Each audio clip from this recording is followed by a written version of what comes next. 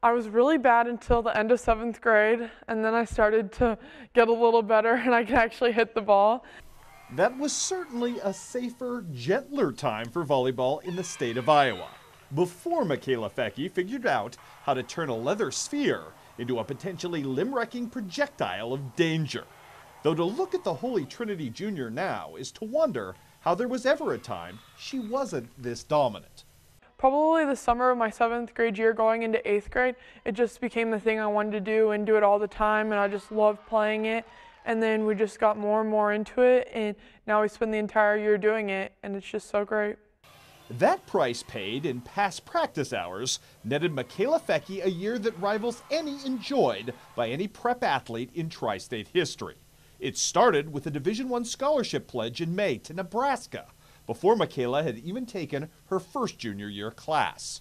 But there was an even more prestigious testament to Mikaela's talent still in the summer offing.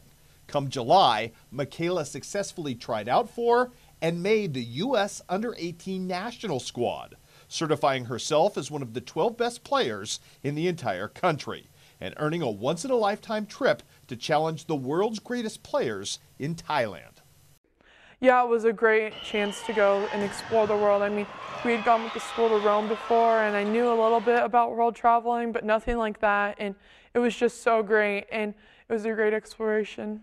It's um truly a different competition when you get out that far. I mean, it's a different ball, a different game, and um, you just have to go out and play.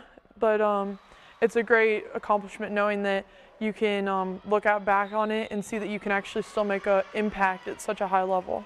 And Mikaela's impact, even at that elite level, was undeniable.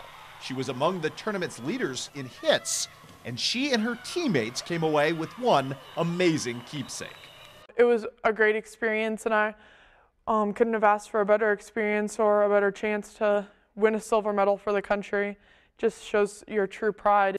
It also proved to be quite the springboard into her high school campaign one that saw Mikaela ultimately lead the state of Iowa in kills with 760 and become a true team leader for her powerhouse program at such a young age. And it's telling that Miss Foecke's Crusader teammates take such pride in her accomplishments.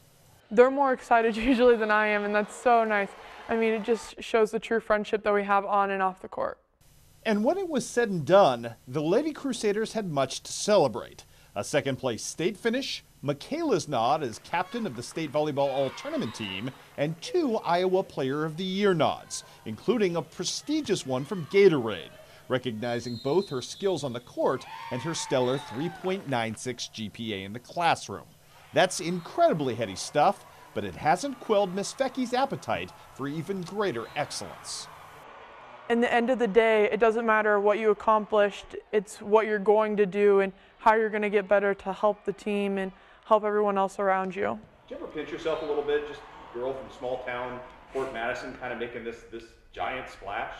Um, no, I think it just it's all come in little steps, and you know you have to work really hard to get there, and everything comes with working, and it's just happened to be my luck.